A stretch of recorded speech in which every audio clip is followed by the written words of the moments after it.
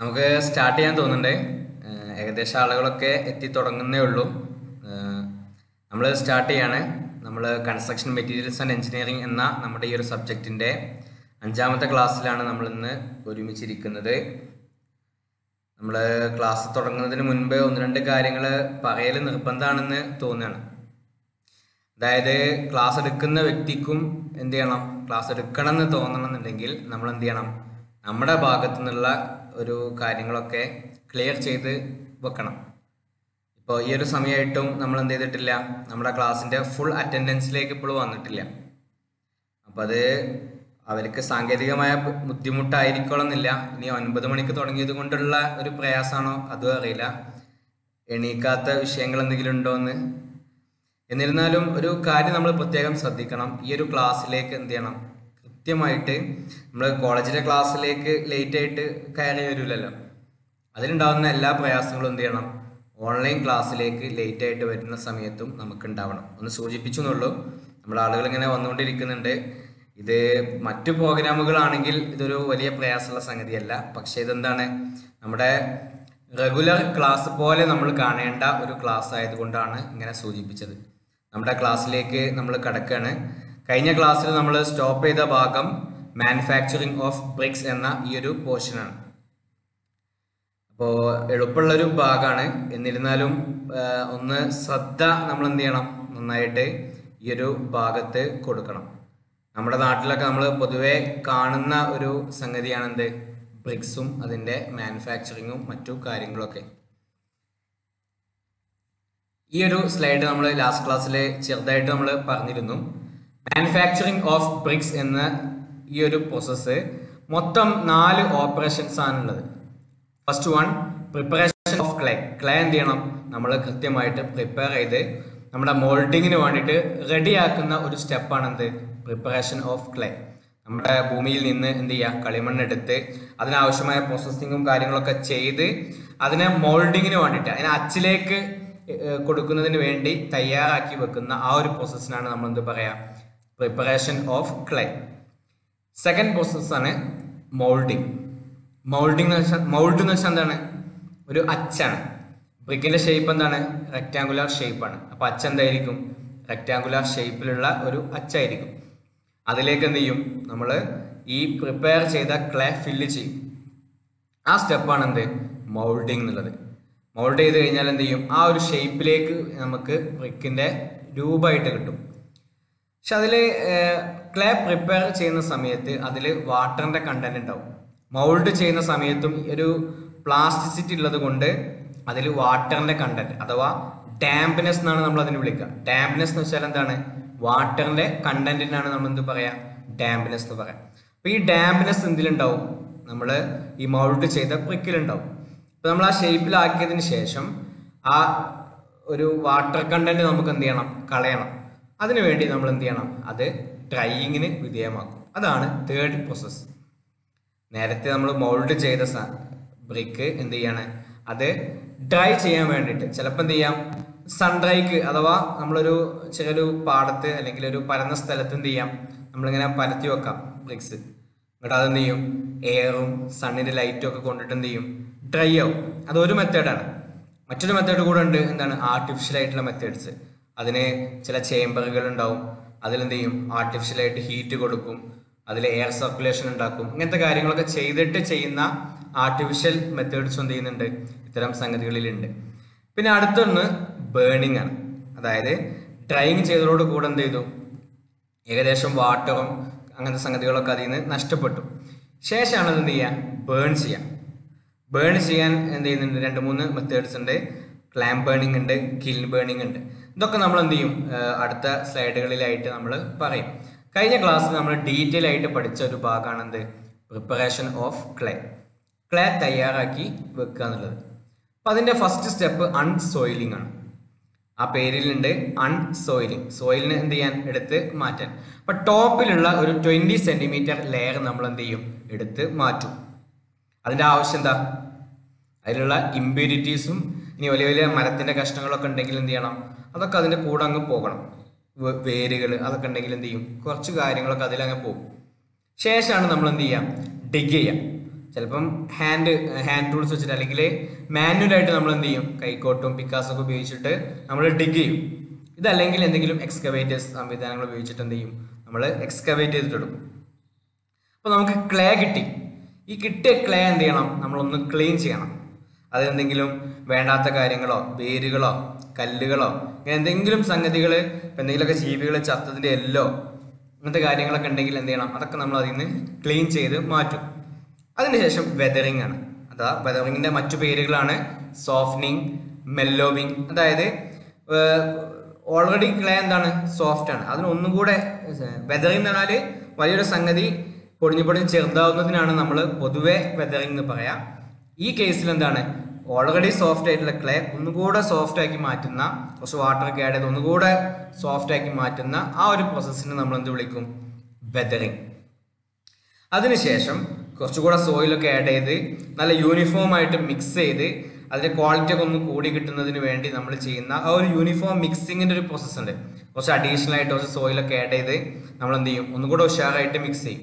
ആ പ്രോസസ്സിനെ നമ്മൾ വിളിക്കും ബ്ലെൻഡിങ് അതിനുശേഷമാണ് എന്ത് ചെയ്യുക? നമ്മൾ കുറച്ചുകൂടെ വാട്ടർ ഒക്കെ ആഡ് ചെയ്ത് നമുക്ക് ആവശ്യമായിട്ടുള്ള ഒരു പ്ലാസ്റ്റിസിറ്റി ഉണ്ടാവും. ഓരോ കാര്യത്തിനും ഒരു പ്ലാസ്റ്റിസിറ്റിയുടെ ലെവൽ ഉണ്ടാവും. അതായത് അതിനൊരു പ്ലാസ്റ്റിസിറ്റി എന്ന് വെച്ചാൽ എന്താണ്? അതിന്റെ പശിമ. അപ്പം എത്രത്തോളം അത് ഓരോ പർപ്പസിന് വേണ്ടി നമ്മൾ ആക്കണോ അത്രയും എന്ത് ചെയ്യണം? കാര്യങ്ങളൊക്കെ ചെയ്ത് വാട്ടർ ആഡ് ചെയ്ത് നന്നായിട്ട് എന്ത് ചെയ്യുക ഒന്ന് പഗ് ചെയ്ത് കഴിഞ്ഞാൽ എന്ത് ചെയ്യും? ചിത്രത്തിൽ നിങ്ങൾക്ക് കാണാം. ഈ ഹോസിനെ വെച്ചിട്ട് ചെയ്യണത് അപ്പൊ ഇതിന്റെ ഉള്ളിൽ എന്തായിരിക്കും? ക്ലേ ആയിരിക്കും ഉണ്ടാവുക. ഈ ഒരു സാധനത്തിനുള്ളിൽ ക്ലേ ഫിൽ ചെയ്തിട്ടുണ്ടാവും. ഈ ഹോസ് ഇങ്ങനെ ചുറ്റി നടന്നാൽ എന്ത് ചെയ്യും? ഈ ആമ് തിരിയും. ആമ് തിരിഞ്ഞ തിരിഞ്ഞാൽ ഈ ഷാഫ്റ്റ് തിരിയും.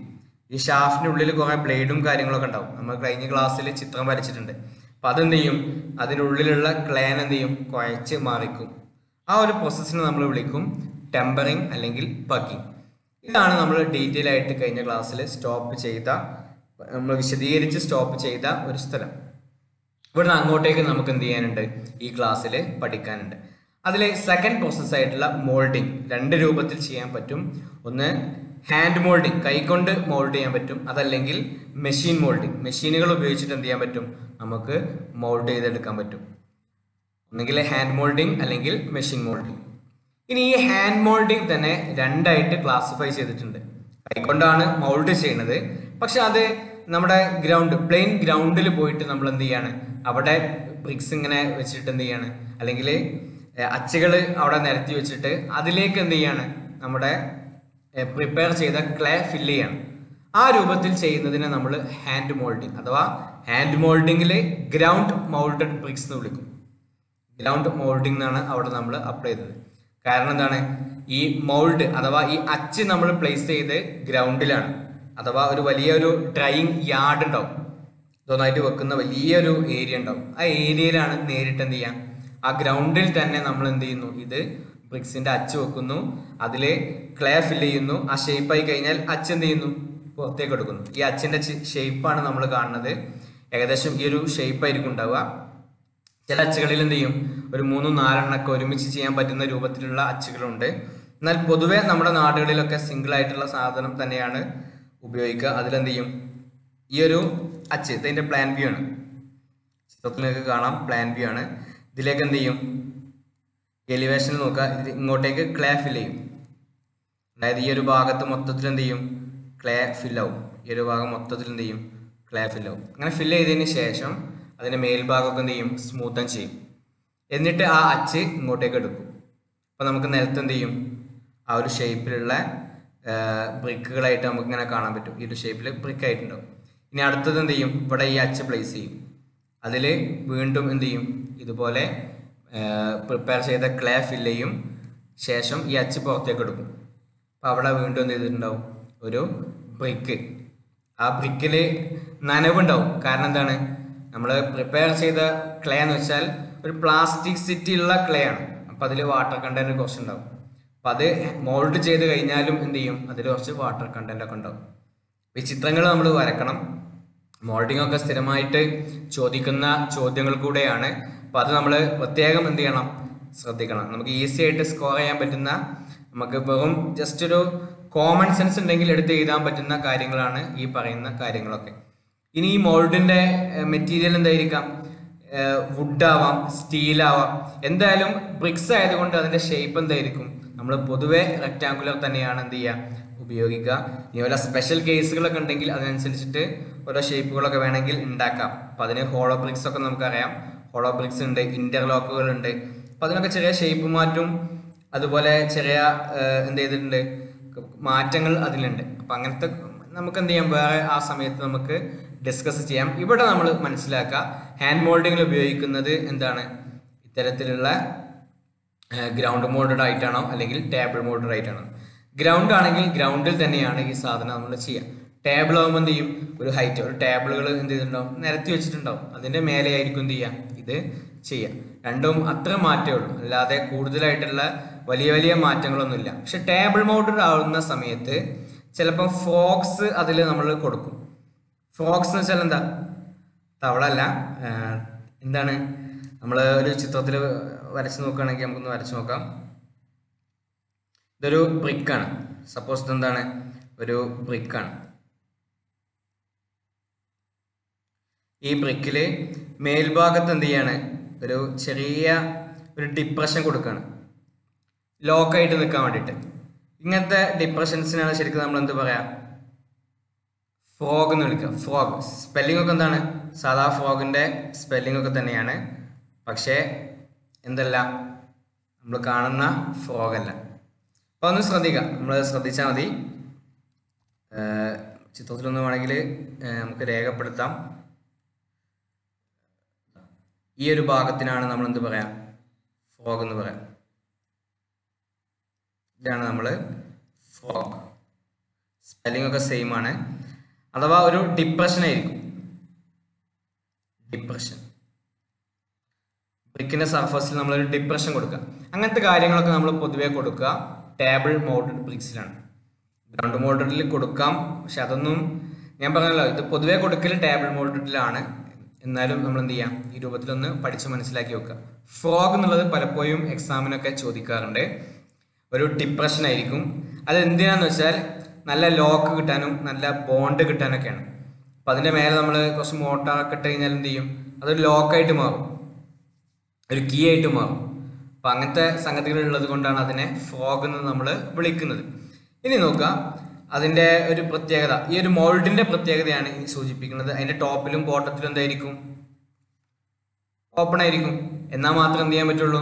ആച്ചിന്റെ മേൽഭാഗത്ത് കൂടെ ഫില്ല് ചെയ്ത് നമുക്ക് പൊന്തിക്കുന്ന സമയത്ത് എന്ത് ചെയ്യുള്ളൂ? അത് ബ്രിക്ക് അവിടെ തന്നെ ഉണ്ടാവുള്ളൂ. അതിന്റെ ടോപ്പിലും ബോട്ടത്തിലും എന്തായിരിക്കും? ഓപ്പൺ ആയിരിക്കും. ഈ പോയിന്റുകൾ നമ്മൾ എന്ത് ചെയ്യണം? ഹാൻഡ് മോൾഡിങ്ങുമായിട്ട് ബന്ധപ്പെട്ട് നോട്ട് ചെയ്യണം. ചില ആളുകൾ ഇപ്പോഴും ചെയ്തിട്ടില്ല. ശ്രദ്ധ നന്നായിട്ട് കുറവുണ്ട് ചില ആളുകൾക്ക്. നമ്മൾ വെറുതെ അനാവശ്യമായിട്ട് എന്ത് ചെയ്യരുത്. നമ്മൾ കമന്റുകളും സ്മൈലുകളൊന്നും വേണ്ട. ലൈവ് ചാറ്റാണ്. നമ്മൾ ക്ലാസ്സിൽ എന്ത് ചെയ്യുക പരമാവധി ശ്രദ്ധിക്കുക നമ്മളിങ്ങനെ കാണുന്നതൊരു സുഖലയമുണ്ട്. ഞാൻ നേരെ തുടക്കത്തിൽ തന്നെ പറഞ്ഞു. നമ്മൾ എന്ത് ചെയ്യണം ഒരു ലൈവ് ക്ലാസ്സിൽ ശരിയായ ക്ലാസ്സിൽ ഇരിക്കുന്നത് പോലെ തന്നെ നമ്മൾ എന്ത് ചെയ്യണം ഓൺലൈൻ ക്ലാസ്സിനും പരിഗണന തരണം. എന്നാൽ മാത്രമേ ടീച്ചേഴ്സിന് എടുക്കാൻ ഒരു താല്പര്യം ഉണ്ടാവുള്ളൂ. നമ്മൾ രണ്ട് കൂട്ടരും ഒരുപോലെ മൂവ് ചെയ്താൽ മാത്രം എന്ത് ചെയ്യുള്ളൂ ഇതിന്റെ ഭംഗിയായിട്ട് നമുക്ക് ഈ സംഗതികളൊക്കെ ഉദ്ദേശിച്ചതുപോലെ പൂർത്തീകരിക്കാൻ പറ്റുള്ളൂ. നമ്മൾ പറഞ്ഞു വന്നത് ഹാൻഡ് മോൾഡിംഗ് ആണ്. ഹാൻഡ് മോൾഡിംഗ് രണ്ട് രൂപത്തിലുണ്ട്. ഗ്രൗണ്ട് മോൾഡഡ് ഉണ്ട് ടേബിൾ മോൾഡഡ് ഉണ്ട്. ഗ്രൗണ്ട് ആണെങ്കിൽ ഗ്രൗണ്ടിലായിരിക്കും എന്ത് ചെയ്യുക ഈ അച്ച് വെച്ചിട്ട് നമ്മൾ ബ്രിക്സ് പരത്തി വെക്കുക ടേബിൾ മോൾഡഡ് ആണെങ്കിൽ ടേബിളിന്റെ മേലെ ആയിരിക്കും അപ്പോൾ ഈ അച്ചുകൾക്ക് ഒരു പ്രത്യേകത ഉണ്ട്. അച്ചിന്റെ ടോപ്പിലും ബോട്ടത്തിലും എന്തായിരിക്കും? ഓപ്പൺ ആയിരിക്കും. അത് ഉണ്ടാക്കുക ചിലപ്പോൾ വുഡ് ആയിരിക്കും സ്റ്റീൽ ആയിരിക്കും. ഇനി മറ്റു മെറ്റീരിയൽസ് ഒക്കെ ആയിരിക്കും. പക്ഷെ പൊതുവിൽ എന്തായിരിക്കും? അത് ഏത് സംഗതിയാണെങ്കിലും ഷേപ്പ് റെക്റ്റാങ്കുലർ ഷേപ്പ് ആയിരിക്കും. സാധാരണ നമ്മൾ പറഞ്ഞു ബ്രേക്കിന്റെ സൈസ് എന്താണ്? Twenty into ten into ten ആ അതിൽ ഒന്നുകൂടെ ക്ലാരിറ്റി നമ്മൾ എന്ത് ചെയ്യും? ആ അത്തരം ഒരു സമയത്ത് എന്ത് ചെയ്യും? ബ്രിക്ക് മേസണറി പഠിക്കുന്ന സമയത്ത് അതിൽ ഒന്നുകൂടെ ക്ലാരിറ്റികൾ നമ്മൾ എന്ത് ചെയ്യും? വരുത്തും. അതിന്റെ ആ സൈസിൽ ചില ആളുകൾക്ക് അതിൽ കൺഫ്യൂഷൻ ഉണ്ട്. കഴിഞ്ഞ ക്ലാസ്സിൽ എന്ത് ചെയ്തു? Nineteen into nine into nine പറഞ്ഞു. അപ്പം അതിൽ ചെറിയ വ്യത്യാസങ്ങളുണ്ട്. നമ്മൾ എന്ത് ചെയ്യും? ഡിസ്കസ് ചെയ്യും. അടുത്തൊരു മോൾഡിംഗ് ആണ്. മെഷീൻ മോൾഡിംഗ് മെഷീൻ മോൾഡിംഗ് ആകുമ്പോൾ എന്താവും? ഒരു മെഷീൻ ആയിരിക്കും അല്ലേ ഇപ്പം ഇവിടെ നിങ്ങൾക്ക് ചിത്രത്തിൽ കാണാം. ഒരു മെഷീൻ ഉണ്ട്. ഈ മെഷീന് വരക്കാൻ പറ്റുന്ന ആളുകൾ എന്ത് ചെയ്യണം? വരക്കണം. ഏകദേശം രൂപം. ഇത് ഇതുപോലെ ഒന്നും വേണമെന്നില്ല. എന്നാലും ഏകദേശം രൂപത്തിൽ എന്ത് ചെയ്യാം? വരക്കാൻ വേണ്ടി ശ്രദ്ധിക്കുക. ഇതിന്റെ പ്രത്യേകത എന്താ വെച്ചാൽ മെഷീൻസ് ആണ് നമ്മൾ ഉപയോഗിക്കുക. അപ്പൊ ക്ലേ എന്ത് ചെയ്യും? നമ്മൾ പ്രിപ്പയർ ചെയ്ത ക്ലേ ഇങ്ങോട്ടേക്കാണ്. നമ്മൾ മില്ലിലൊക്കെ കാണുന്നത് പോലത്തെ ഒരു സാധനം. ഈ ഒരു സ്ഥലത്തേക്ക് എന്ത് ചെയ്യും? അത് ഫില്ല് ചെയ്യും. ശേഷം എന്ത് ചെയ്യണം? It comes out through the opening under pressure ഇതിലൂടെ എന്ത് ചെയ്യും? ഇങ്ങനെ വന്ന് വന്ന് വന്ന് വന്ന് ഈ നല്ല പ്രഷറിൽ എന്ത് ചെയ്യും? അത് ഇങ്ങനെ പുറത്തേക്ക് വരും. അങ്ങനെ ഈ പുറത്തേക്ക് വരുന്ന സംഗതിനെ നമ്മൾ എന്ത് ചെയ്യും? നല്ല ഒരു സ്റ്റീലിന്റെ ഒക്കെ നെറ്റ് പോലത്തെ സാധനങ്ങളുണ്ടാവും. വയേഴ്സ് വയേർഡ് സാധനങ്ങളാണ്. അതായത് സ്റ്റീൽ വയേഴ്സ് ആയിരിക്കും. ഈ ഷേപ്പിലുള്ള സ്റ്റീൽ വയേഴ്സ് ഈ ഒരു സ്റ്റീലിന്റെ വയർ വെച്ച ഒരു ഫ്രെയിം ഈ ഫ്രെയിം എന്ത് ചെയ്യും? അതിന്റെ മേലെ പ്രസ് ചെയ്യും. പരന്നു വരുന്ന ഒരു സാധനമായിരിക്കും. അതിന്റെ മേലെ ഇത് പ്രസ് ചെയ്യുന്നതോട് കൂടെ എന്ത് ചെയ്തു? അത് ബ്രിക്സ് ആയിട്ട് മാറി. അപ്പൊ ഇത് ഓരോന്നും എന്തായിരിക്കും? ബ്രിക്കിന്റെ സൈസ് ആയിരിക്കും. ഓരോന്നും ബ്രിക്കിന്റെ സൈസ് ആയിരിക്കും. അത് കറക്റ്റ് ആയിട്ട് അതിന്റെ മേലെ അമരുന്നതോട് കൂടെ എന്ത് ചെയ്തു? ഇതൊക്കെ ബ്രിക്സ് ആയിട്ട് മാറി. ഇനി അത് ഡ്രൈ ചെയ്യുന്ന അടുത്ത പ്രോസസ്സിലേക്ക് എന്ത് ചെയ്യാം? മൂവ് ചെയ്യാം. ചെറിയൊരു കാര്യം കൂടെ അവിടെ നോട്ട് ചെയ്യാം. ഇതിന് രണ്ട് തരം ക്ലാസിഫിക്കേഷൻ ഉണ്ട്. പേര് മാത്രം നോട്ട് ചെയ്താൽ മതി. ഡീറ്റെയിൽസ് നമുക്ക് ആവശ്യമില്ല. നമ്മുടെ എക്സാം പോയിന്റ് ഓഫ് വ്യൂവിൽ എന്ത് ചെയ്യേണ്ടില്ല. വളരെ ഡെപ്തിലേക്ക് നമ്മൾ പോകേണ്ട ആവശ്യമില്ല. രണ്ട് തരം ക്ലാസിഫിക്കേഷൻ ഉണ്ട്. രണ്ടായിട്ടാണ് നമ്മൾ തിരിച്ചത്. ഒന്ന് പ്ലാസ്റ്റിക് ക്ലേ മെഷീൻസും. രണ്ട് ഡ്രൈ ക്ലേ മെഷീൻസും. ഡീറ്റെയിൽസ് നമ്മൾ പഠിക്കേണ്ട. ആ പേര് മാത്രം എന്ത് ചെയ്യാം? ഒന്ന് ഓർത്ത് വെക്കുക രണ്ട് തരം മോൾഡിംഗ് പറഞ്ഞു. ഹാൻഡ് മോൾഡിംഗ് ഉണ്ട് മെഷീൻ മോൾഡിംഗ് ഉണ്ട്. അതിൽ മെഷീൻ മോൾഡിങ്ങിൽ ഒരു മെഷീൻ ആയിരിക്കും ഉണ്ടാവുക. ആ മെഷീനിൽ എന്ത് ചെയ്യും? നമുക്ക് ക്ലേ പ്ലേസ് ചെയ്യാൻ വേണ്ടിയിട്ട് ഒരു സ്പേസ് ഉണ്ടാവും. അങ്ങോട്ടേക്ക് നമ്മൾ ഫില്ല് ചെയ്യും. ശേഷം അത് അതിനുള്ള പ്രോസസ്സിംഗ് ഒക്കെ കഴിഞ്ഞിട്ട് എന്ത് ചെയ്യും? നല്ല ഹൈ പ്രഷറിൽ അത് പുറത്തേക്ക് വരും. പുറത്തേക്ക് വരുമ്പോൾ ബ്രിക്കിന്റെ ഷേപ്പ് ഒന്നും ആയിരിക്കില്ല അതിങ്ങനെ പരന്ന് കിടക്കുകയായിരിക്കും മേലെ മേലെന്ത് ചെയ്യും? നല്ലൊരു ഫ്രെയിം കറക്റ്റ് റെക്റ്റാങ്കുലർ ഷേപ്പുള്ള സ്റ്റീൽ വയർഡ് ഫ്രെയിം ചെയ്യും? ഒരു ഫ്രെയിം അതിന്റെ മേലെ പ്രസ് ചെയ്യും. അതോടുകൂടെ എന്ത് ചെയ്തു? ആ പരന്ന് കിടക്കുന്ന സംഗതി കട്ട് ചെയ്യപ്പെടും. എന്നിട്ട് ബ്രിക്സിന്റെ ഷേപ്പിലേക്കാവും ബ്രിക്കിന്റെ സൈസിലേക്കാവും ഇതാണ് നമ്മൾ സൂചിപ്പിച്ചത്. ഇനി third one drying first prepare ചെയ്തു ക്ലേ ആ പ്രിപ്പയർ ചെയ്ത ക്ലേ നമ്മളൊരു അച്ചിലേക്ക് ഒരു മൗൾഡിലേക്ക് നമ്മൾ എന്ത് ചെയ്തു? ഫിൽ ചെയ്തു. അത് മൗൾഡ് എടുത്തു മാറ്റി. ശേഷം എന്താണ്? നല്ല ഒരു നനവൊക്കെ ഉള്ള ഒരു ബ്രിക്കായിട്ട് അവിടെ അങ്ങനെ നിൽക്കുകയാണ്. അപ്പം ഈ നനവ് എന്ത് ചെയ്യണം? നമ്മൾ കളയണം. കാരണം ഈ ഡാംനെസ് നമുക്ക് എന്ത് ചെയ്യും? ഒരുപാട് ദോഷം ചെയ്യും. അപ്പോൾ ഈ if damp bricks are burned chances of cracks and distortions അതായത് നനഞ്ഞ ബ്രിക്സ് നമ്മൾ കത്തിച്ച് കഴിഞ്ഞാൽ ചിലപ്പോൾ എന്ത് ചെയ്യും? കത്തിക്കുക എന്ന് വെച്ചാൽ കത്തിച്ച് കളയല്ല ഫയർ ഫയർ ചെയ്യാന്നാണ് നമ്മൾ പറയാ. ബേണിംഗ് എന്ന് വെച്ചാൽ കത്തിക്കും പക്ഷെ എന്തല്ല നശിപ്പിക്കല്ല ചെയ്യുക അത് അതിന് സ്ട്രെങ്ത്തും കാര്യങ്ങളൊക്കെ കിട്ടുകയാണ് ചെയ്യുക if damp bricks are burned chances of cracks and distortions നനവുണ്ടെങ്കിൽ എന്ത് ചെയ്യും? അവിടെ ക്രാക്കുകൾ വരാൻ സാധ്യതയുണ്ട്. അതുപോലെ ഷേപ്പിലൊക്കെ ചെറിയ മാറ്റങ്ങൾ വരാൻ സാധ്യതയുണ്ട്. അപ്പോൾ അതുകൊണ്ടാണ് നമ്മൾ എന്ത് ചെയ്യുന്നത്? ഡ്രൈയിങ് എന്നുള്ള ഒരു പ്രൊസീജിയർ അഡോപ്റ്റ് ചെയ്യുന്നത്. ഡ്രൈയിങ് എന്നാണ് അവിടെ എഴുതിയത്. ചില ആളുകൾക്ക് അവിടെ എന്താ എഴുതിയത് എന്ന് കാണണം. If damp bricks are burned chances of cracks and distortions ഈ ഒരു കാരണങ്ങൾ കൊണ്ടാണ് നമ്മൾ എന്ത് ചെയ്യുന്നത്? ഈ ക്രാക്സും ഡിസ്റ്റോഷൻസും ഇല്ലാതിരിക്കാൻ വേണ്ടിയിട്ടാണ് നമ്മൾ ഡ്രൈയിങ് എന്നുള്ള ഈ ഒരു സ്റ്റെപ്പ് നമ്മൾ കൊണ്ടുവന്നത്. ഈ ഡ്രൈയിങ് പല രൂപത്തിൽ എന്ത് ചെയ്യാൻ പറ്റും? ചെയ്യാൻ പറ്റും. നാച്ചുറൽ ആയിട്ടും ചെയ്യാൻ പറ്റും. ആർട്ടിഫിഷ്യൽ ആയിട്ടും ചെയ്യാൻ പറ്റും. നാച്ചുറൽ ആയിട്ട് ചെയ്യുന്നതിന് നമ്മൾ ഹാക്ക് ഡ്രൈവിംഗ് എന്ന് പറയും. അതിന് റീസൺ ഉണ്ട്. നമ്മൾ ഗ്രൗണ്ടിൽ നിന്ന് ചെറിയൊരു ഹാക്ക് ചെറിയൊരു ഉയരത്തിലാണ് എന്ത് ചെയ്യുക വലിയ ഉയരമല്ല ചെറിയൊരു ഉയരത്തിലാണ് നമ്മൾ ഇത് ഉണക്കാനായിട്ട്. പ്ലെയിൻ ഗ്രൗണ്ടിലല്ല പ്ലെയിൻ ഗ്രൗണ്ടിൽ തന്നെ ആയിരിക്കും. പക്ഷെ അതിൽ ചെറിയൊരു ഹീപ്പ് അല്ലെങ്കിൽ ഒരു ഹാക്ക് എന്ത് നമ്മൾ കൊടുത്തിട്ടുണ്ടാവും. ചെറിയൊരു ഉയരം. അതിന് മേലെ ആയിരിക്കും എന്ത് ചെയ്യുക ഇത് ഡ്രൈ ചെയ്യാൻ വേണ്ടിയിട്ട് നമ്മൾ പ്ലേസ് ചെയ്യാം. അതാണ് നാച്ചുറൽ ഡ്രൈയിങ് അതുപോലെ ആർട്ടിഫിഷ്യൽ ഡ്രൈയിങ് ഉണ്ട്. നാച്ചുറൽ ഡ്രൈയിങ് എന്താണ്? ഒരു ഹാക്ക് ചെറിയൊരു ഉയരം വെച്ചിട്ട് നമ്മുടെ ഗ്രൗണ്ടിൽ തന്നെ ആയിരിക്കും എന്ത് ചെയ്യുക? അത് ചെയ്യാം. ആർട്ടിഫിഷ്യൽ ഡ്രൈയിങ് ആണെങ്കിൽ അവിടെ നമ്മൾ പ്രത്യേകം ചില ടണൽസോ ചില ചാമ്പറുകളൊക്കെ നമ്മൾ എന്ത് ചെയ്യും? കൊണ്ടുവരും. അതിനുള്ളിൽ ഹീറ്റ് കൊടുക്കും. ടെമ്പറേച്ചർ ആവുന്ന സമയത്ത് എന്ത് ചെയ്യും? അത് ആ ചൂട് കൊണ്ട് അത് ഡ്രൈ ആവും. ഇങ്ങനത്തെ ഒരു പ്രോസസ്സും ഉണ്ട്. അതിനെ നമ്മൾ ആർട്ടിഫിഷ്യൽ ഡ്രൈയിങ് വിളിക്കും. നാച്ചുറൽ ഡ്രൈയിങ് എന്താണ് രണ്ട് തരം ബ്രിക്സ് നമുക്ക് കിട്ടാറുണ്ട്. Air and sun dried bricks ആണ് അതുകൊണ്ട് കിട്ടുക. ഇപ്പൊ എയറിലും സണ്ണിന്റെ ചൂടും തട്ടിയിട്ടാണ് എന്ത് ചെയ്യുന്നത് നാച്ചുറൽ ഡ്രൈയിങ്ങിൽ ബ്രിക്സ് ഡ്രൈ ചെയ്യപ്പെടുന്നത്. അതുപോലെ തന്നെ അതുകൊണ്ട് യാർഡ് ഉണ്ടാവും. ആ ഡ്രൈയിങ് യാർഡിലായിരിക്കും എന്ത് ചെയ്യുക? ഇതിനൊന്നായിട്ട് പ്ലേസ് ചെയ്തിട്ടുണ്ടാവുക. നല്ല സർക്കുലേഷൻ ഓഫ് എയർ ഉണ്ട്. കാരണം എന്താ? ഫുൾ ഓപ്പൺ ആണ്. അതുകൊണ്ട് നല്ല സർക്കുലേഷൻ ഓഫ് എയർ അവിടെ ഉണ്ട്. പിന്നെ ഇത് പതുക്കെ പതുക്കെയാണ് എന്ത് ചെയ്യുന്നത്? നമ്മുടെ ഈ ഒരു പ്രോസസ്സ് നടക്കുക. ഒരു പത്ത് ദിവസമൊക്കെ എന്ത് ചെയ്യും? ഇത് ഡ്രൈ ആയി കംപ്ലീറ്റ് ഡ്രൈ ആവാൻ വേണ്ടിയിട്ട് എടുക്കും. പെട്ടെന്ന് എന്ത് ചെയ്യില്ല? നടക്കൂല. പക്ഷേ ഇതിനെന്ത് ചെയ്യും? പതുക്കെ പതുക്കെ ആയതുകൊണ്ട് അത് പ്രോപ്പറായിട്ട് നടക്കും. പക്ഷെ ഫാസ്റ്റ് ആയിട്ട് ചെയ്താൽ എന്ത് ചെയ്യും? ചിലപ്പം പ്രോപ്പറായിട്ട് നടന്നോളുന്നില്ല. അപ്പൊ അതുകൊണ്ട് നമ്മൾ ഇനി അടുത്തൊന്ന് നോക്കുക. ആർട്ടിഫിഷ്യൽ ഡ്രൈയിങ് ഇവിടെ മെഷീൻസ് ആണ് ഉപയോഗിക്കുക. മെഷീൻ അറേഞ്ച്മെന്റ്സ് ഉണ്ടാവും. ടണൽസ് ആവാം. ചാനൽസ് ആവാം ഇതൊക്കെ എന്ത് ചെയ്യാം? ചാനൽ എന്നൊക്കെ പറഞ്ഞാൽ എന്താ ഒരു എന്ത് ചെയ്യാം? ഇങ്ങനെ പോവാം. അങ്ങനത്തെ സംഗതികൾക്കാണ് എന്താ പറയുക ടണൽ ചാനൽ നമ്മൾ ചിത്രങ്ങൾ കാണും. അപ്പൊ നിങ്ങൾ ചിത്രത്തിൽ എന്ത് ചെയ്യുന്നുണ്ട്? ഒരു ഒക്കെ കാണുന്നുണ്ട്. ഇത് പൊതുവെ നമ്മൾ ഉപയോഗിക്കുക. നമ്മൾ ഒരു ലാർജ് സ്കെയിൽ വർക്ക്സിനാണ് ഒരുപാട് അളവിൽ എന്ത് ചെയ്യണം? ബ്രിക്സ് ഉണ്ടാക്കണം. അപ്പൊ അങ്ങനത്തെ ഒക്കെ സമയത്താണ് എന്ത് ചെയ്യുക? ഇത്തരം സംഗതികൾ ഉപയോഗിക്കുക. അപ്പൊ കുറഞ്ഞ ഒരു സെറ്റ് സാധനം കയറ്റും അതിനെ ട്രൈ ചെയ്യും. അടുത്ത അടുത്തത് കയറ്റും അടുത്തത് കയറ്റും അങ്ങനെ ഇതിങ്ങനെ റിപ്പീറ്റ് ചെയ്ത് കണ്ടിന്യൂസ് ആയിട്ട് നമുക്ക് ബ്രിക്സിന്റെ ആവശ്യമുണ്ട് അത്തരം സാഹചര്യങ്ങളിലാണ് ആരെ ഉപയോഗപ്പെടുത്തുക? ആർട്ടിഫിഷ്യൽ ഡ്രൈവിംഗ് എന്നുള്ള സംഗതിനെ ഉപയോഗപ്പെടുത്തുക. ഇതെങ്ങനെ ചെയ്യാന്ന് വെച്ചാൽ ഒരു ടണൽ ആ ടണലിൽ എന്ത് ചെയ്യാണ്? ഒരു വൺ ട്വന്റി ഡിഗ്രി സെൽഷ്യസിലൊക്കെ നമ്മൾ എന്ത് ചെയ്യാണ്? ടെമ്പറേച്ചർ പ്രൊവൈഡ് ചെയ്യണം. എന്നിട്ട് ഒരു രണ്ടോ ഒന്നോ രണ്ടോ മൂന്നോ ദിവസം എടുത്തു കഴിഞ്ഞാൽ എന്ത് ചെയ്യും? ഇത് ഡ്രൈ ആവും. നാച്ചുറൽ ഡ്രൈവിങ്ങിന്റെ കേസിൽ എന്ത് ചെയ്തിട്ടുണ്ട്? അവിടെ പത്ത് ദിവസമൊക്കെ എടുക്കുന്ന സ്ഥാനത്ത് ഇവിടെ രണ്ടോ മൂന്നോ ദിവസം കൊണ്ട് എന്ത് ചെയ്യും? തീരും. ഒരുപാട് സാധനങ്ങൾ എന്ത് ചെയ്യാൻ പറ്റും? ഈ ഡ്യൂറേഷനിൽ ആർട്ടിഫിഷ്യൽ ഡ്രൈയിങ്ങിൽ ചെയ്തെടുക്കാൻ പറ്റും. ഇത്രയും കാര്യങ്ങൾ എന്ത് ചെയ്യണം? ഡ്രൈയിങ്ങുമായിട്ട് ബന്ധപ്പെട്ട് നമ്മൾ നോട്ട് ചെയ്യണം. ഡ്രൈയിങ് ചെയ്യേണ്ടി വരുന്നതിന്റെ റീസൺ എന്താണെന്നുള്ളത് നമ്മൾ മനസ്സിലാക്കണം. അത് ഓൾറെഡി നമുക്ക് കിട്ടുന്ന അച്ച് അവിടെ വെച്ച് നമ്മൾ എടുത്ത ശേഷം അവിടെ ഉണ്ടാകുന്ന ബ്രിക്ക് ഉണ്ട്. ആ ബ്രിക്കിന് ഒരു നനവുണ്ടാവും. ഈ നനവോട് കൂടി നമ്മൾ അതിനെ കത്തിച്ചു കഴിഞ്ഞാൽ അഥവാ ബേണിംഗ് ചെയ്ത് കഴിഞ്ഞാൽ അവിടെ ക്രാക്സ് വരാൻ സാധ്യത കൂടുതലാണ്. അതുപോലെ എന്തെങ്കിലും ഡിസ്റ്റോർഷൻസ് വരാൻ സാധ്യത കൂടുതലാണ്. അപ്പൊ ഈ ഒരു സാധ്യത തള്ളിക്കളയാൻ വേണ്ടിയിട്ടാണ് നമ്മൾ എന്ത് ചെയ്യുന്നത് മൂന്നാമത്തെ സ്റ്റെപ്പായിട്ട് ഡ്രൈയിങ് എന്നുള്ള സ്റ്റെപ്പ് കൊണ്ടുവന്നത്. അതിനുശേഷമാണ് നമ്മൾ എന്ത് ചെയ്യുക? ബേണിംഗ് കത്തിക്കുക. ഇഷ്ടികൊക്കെ കത്തിച്ചിട്ടുണ്ടാക്കുന്നത് നമ്മൾ കണ്ടിട്ടുണ്ട്. ഓട് ഈ രൂപത്തിലാണ് ഉണ്ടാക്കുന്നത്. നമ്മൾ കണ്ടിട്ടുണ്ട്. ഇല്ലെങ്കിൽ കാണാത്ത ആളുകൾ എന്ത് ചെയ്യണം? നമ്മുടെ നാടിന്റെ തൊട്ടടുത്തുള്ള സ്ഥലങ്ങളൊക്കെ ഒന്ന് പോയിട്ട് സന്ദർശിക്കാൻ വേണ്ടിയിട്ട് എന്ത് ചെയ്യണം? ശ്രദ്ധിക്കണം. നമ്മുടെ കോവിഡ് പ്രോട്ടോകോൾസ് ഒക്കെ പാലിച്ചുകൊണ്ട് വേണം അത് ഈ ഒരു സമയത്ത് ചെയ്യുന്ന ആളുകൾ ചെയ്യാൻ.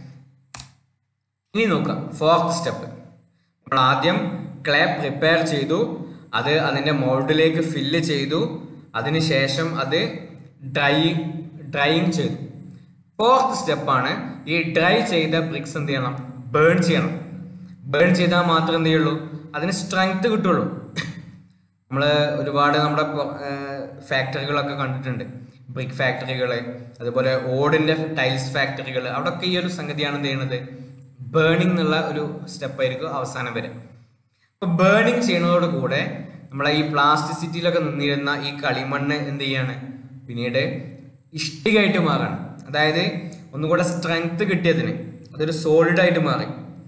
അത് നമുക്ക് പറയാം to imparts hardness and strength burning എന്തിനു വേണ്ടിയിട്ടാണ് ചെയ്യുന്നത് ഒന്ന് ഹാർഡായി കിട്ടാൻ വേണ്ടിയിട്ട്. അതുപോലെ സ്ട്രെങ്ത് കൂട്ടി കിട്ടാൻ വേണ്ടിയിട്ട്. നേരത്തെ ഇങ്ങനെ പ്ലാസ്റ്റിസിറ്റി എന്താ പറയുക നമുക്കിങ്ങനെ ഒരു എങ്ങോട്ടേക്കും അതിന്റെ ഷേപ്പ് മാറ്റാൻ പറ്റുന്ന ഒരു അവസ്ഥയിൽ നിന്ന് ഇതെന്ത് ചെയ്തു? ഒരു സോളിഡ് ആയിട്ടുള്ള നല്ല ഹാർഡ് ആയിട്ടുള്ള നല്ല സ്ട്രെങ്ത് ഒക്കെ ഉള്ള ഒരു മെറ്റീരിയൽ ആയിട്ട് മാറി. അതോടുകൂടെ നമുക്ക് പറയാം it makes brick dense and durable ഇങ്ങനെ ബേണിങ് ചെയ്തതോട് കൂടെ ബ്രിക്കിന് എന്ത് ചെയ്തു? അത് ഒന്നുകൂടെ ഡെൻസ് ആക്കി. ഒന്നുകൂടെ എന്താ പറയാ? ഡെൻസിറ്റി കൂടുന്ന രൂപത്തിൽ അതിന്റെ എല്ലാ ഭാഗത്തും എന്ത് ചെയ്തു? ഒരു ഡെൻസ് ആയിട്ട് മാറി. അതുപോലെ ഡ്യൂറബിൾ ആണ്. ഒരുപാട് കാലം എന്ത് ചെയ്യും? ഈട് നിൽക്കാൻ പറ്റുന്ന ഒരു അവസ്ഥയിലേക്ക് എന്ത് ചെയ്തു?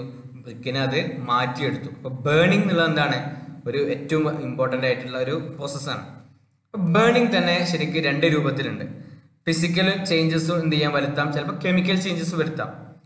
അധികം ടെമ്പറേച്ചറിൽ നമ്മൾ ഹീറ്റ് ചെയ്തില്ല. അല്ലെങ്കിൽ ബേണിംഗ് ചെയ്യുന്ന സമയത്ത് ഹൈ ടെമ്പറേച്ചർ കൊടുക്കാൻ നമുക്ക് പറ്റിയില്ല എന്ന് വെക്കാം അങ്ങനെ വന്നാൽ അവിടെ ഫിസിക്കൽ ചേഞ്ച് നടക്കുള്ളൂ.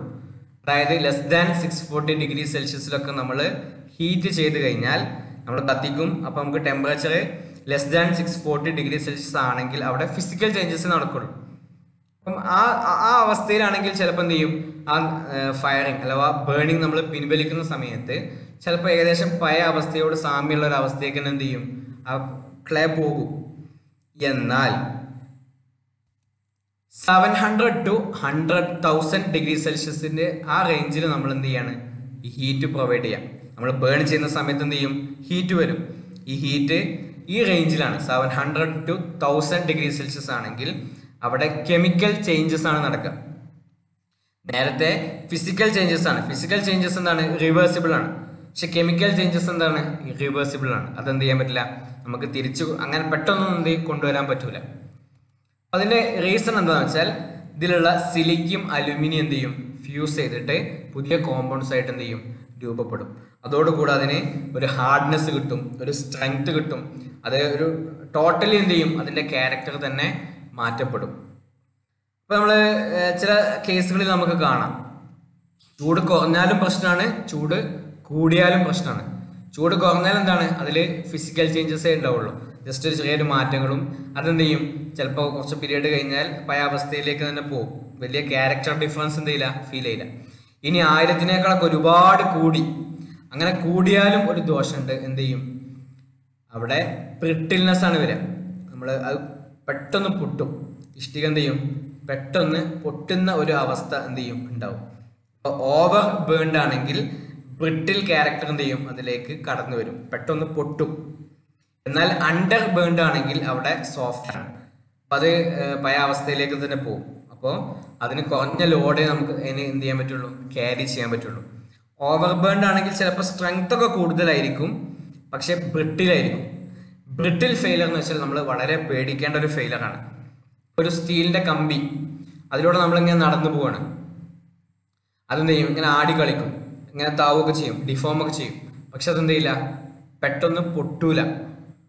അതിങ്ങനെ ഡിഫ്ലക്റ്റ് ചെയ്യുള്ളൂ.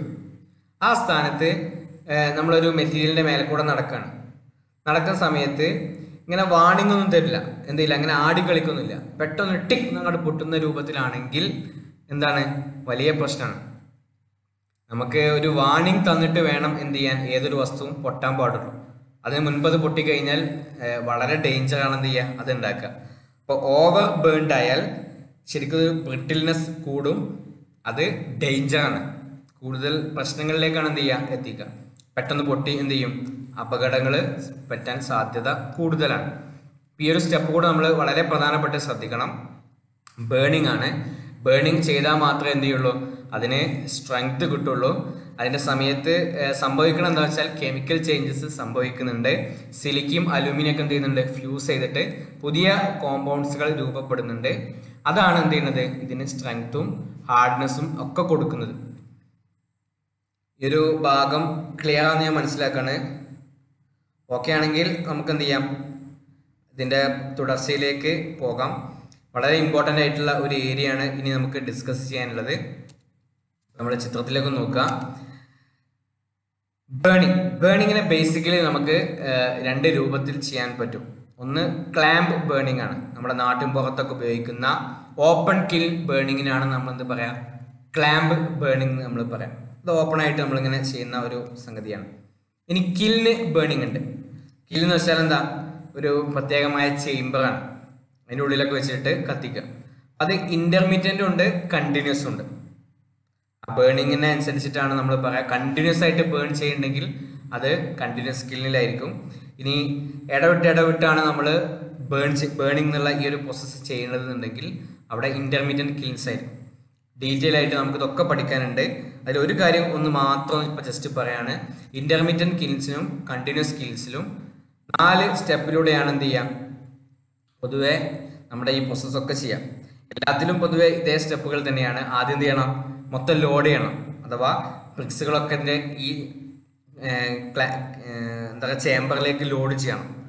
അതിനുശേഷം അതിന്റെ ഫയർ ചെയ്യണം. കത്തിക്കണം. കത്തിച്ച് കഴിഞ്ഞാൽ എന്ത് ചെയ്യണം? അതിനെ കൂൾ ചെയ്യണം. പിന്നെ അൺലോഡ് ചെയ്തിട്ട് എവിടേക്കാണ് ആവശ്യമുള്ളത് അങ്ങോട്ടേക്ക് ട്രാൻസ്പോർട്ട് ചെയ്യണം. ഇത് എല്ലാത്തിനും പൊതുവെ വരുന്ന സ്റ്റെപ്പുകളാണ്. പരീക്ഷയ്ക്ക് എന്ത് ചെയ്യാൻ പറ്റും? ഇങ്ങനെ നാല് ഭാഗങ്ങളാക്കിയിട്ട് മനസ്സിലാക്കി വെച്ചാൽ അതിങ്ങനെ കൂടുതലായിട്ട് നമുക്ക് എന്ത് ചെയ്യാൻ പറ്റും? വിശദീകരിച്ച് ഇങ്ങനെ എഴുതാൻ പറ്റും. അതുകൊണ്ടാണ് ഒന്ന് നോട്ട് ചെയ്യാൻ വേണ്ടി പറഞ്ഞത്. നോട്ട് ചെയ്തിട്ടുണ്ടാവും. ബേസിക്കലി രണ്ട് രൂപത്തിലാണ് ബേണിംഗ് ഉള്ളത്. ഒന്ന് ക്ലാമ്പ് അഥവാ ഓപ്പൺ കിലിന് ബേണിങ്ങും രണ്ടാമത്തത് കിലിന് ബേണിങ്ങും ആണ്. കിൽ ബേണിംഗ് തന്നെ രണ്ടാം രൂപത്തിൽ നമുക്കുണ്ട്. ഇന്റർമീഡിയറ്റ് കിൽസ് ഉണ്ട് കണ്ടിന്യൂസ് കിൽസ് ഉണ്ട്. ഈ കണ്ടിന്യൂസ് സ്കിൽസിന് വരെ എന്ത് ചെയ്തിട്ടുണ്ട്? ഇനിയും ഫർദർ ക്ലാസിഫിക്കേഷൻസ് ഉണ്ട്. അതിന്റെ ഒരു ചെറിയ പിക്ചർ നമ്മൾ എന്ത് ചെയ്യും? വരും ക്ലാസ്സുകളിൽ പഠിക്കും. ക്ലാം ബേണിങ്ങുമായിട്ട് ബന്ധപ്പെട്ട കാര്യങ്ങൾ നമ്മൾ എന്ത് ചെയ്യാണ്? ഇന്ന് നമ്മൾ പഠിക്കുകയാണ് ചിത്രത്തിൽ നമുക്ക് കാണാം. ഇവിടെ എന്ത് ചെയ്തിട്ടുണ്ട്?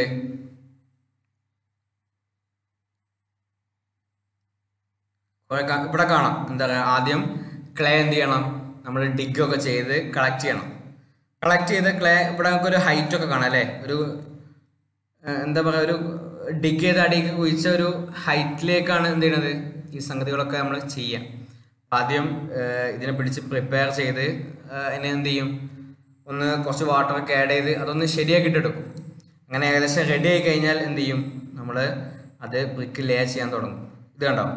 ഈ ഒരു സാധനത്തിനാണ് നമ്മൾ മോൾഡ് എന്ന് പറയാം ബ്രിക്കിന്റെ മോൾഡ് ഇതിലേക്കാണ് നമ്മൾ എന്ത് ചെയ്യുക ഈ ഒരു സാധനം ഫില്ല് ചെയ്യാം. നമ്മൾ റെഡി ആയിട്ടുള്ള പ്രിപ്പറേഷൻ ഓഫ് ക്ലേ കഴിഞ്ഞ കഴിഞ്ഞ ശേഷം ഇത് പ്രിപ്പയർഡ് ക്ലേ ആണിത്. ഇതെന്ത് ചെയ്യും? നമ്മുടെ ഈ ഒരു ഇതിലേക്ക് ഫില്ല് ചെയ്യും.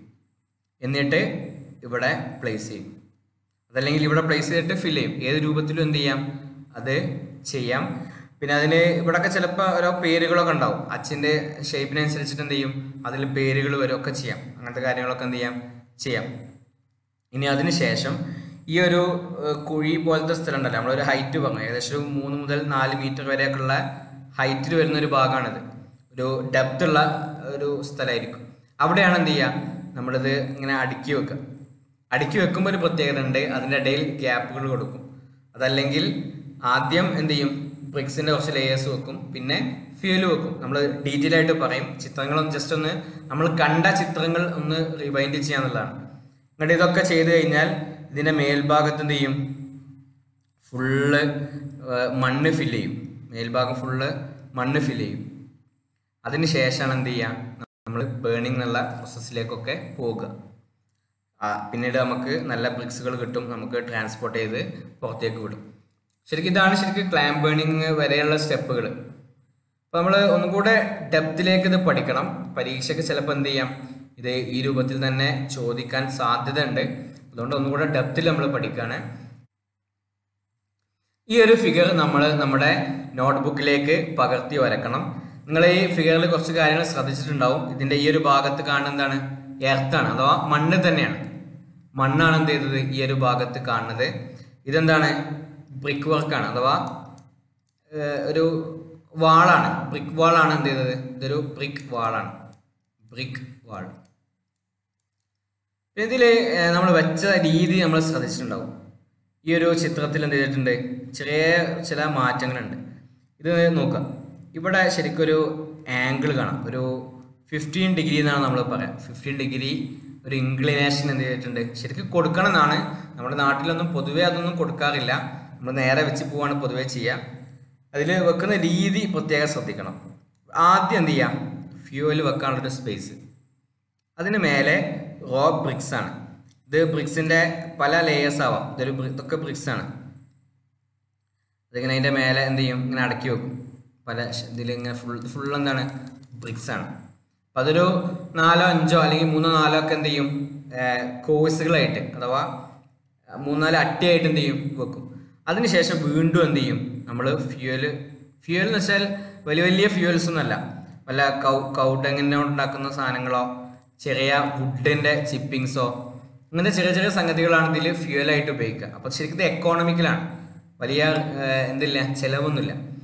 നല്ല പരിചയമുള്ള പണിക്കാരെ ആവശ്യമില്ല. കുറഞ്ഞ പല ചെറിയ ചെറിയ ആളുകളെ ഉപയോഗിച്ചിട്ട് എന്ത് ചെയ്യാം? ഇതിലെ കാര്യങ്ങളൊക്കെ നമുക്ക് ഡീൽ ചെയ്യാൻ പറ്റും. അങ്ങനെ ഇതൊക്കെ ചെയ്ത് കഴിഞ്ഞാൽ നമ്മൾ എന്ത് ചെയ്യും? ഏറ്റവും ടോപ്പ് ഭാഗത്ത് നമ്മൾ ഇതിന് ഒരു ഇത് വെക്കും. എന്താ പറയുക ഇവിടൊക്കെ മണ്ണിടും. ഈ ഒരു ഏരിയയിലൊക്കെ നമ്മൾ എർത്ത് ഫില്ല് ചെയ്യും. ഇതിൽ ചിലപ്പോൾ ഇതിൽ എന്ത് ചെയ്യും? നമ്മൾ ചില പ്രൊഫഷൻസ് ആഡ് ചെയ്യും. ഫ്യൂ ഇത് ആഡ് ചെയ്യാൻ ഈ ഫ്യൂലൊക്കെ ആഡ് ചെയ്യാനുള്ള ചില പ്രൊവിഷൻസ് എന്ത് ചെയ്യും? നമ്മൾ ഇതിന്റെ ഗ്യാപ്പുകളിലൊക്കെ കൊടുത്തിട്ടുണ്ടാവും.